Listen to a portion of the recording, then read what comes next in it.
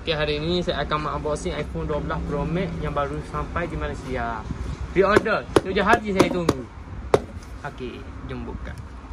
Harap-harap saya order biru dapat biru lah. Nice uh, bunyi sikit. Uh. iPhone 11 eh iPhone 12 Pro Max. Tada! Oh my god, what what is this? Apa ni? String. Aduh, aku order iPhone. 11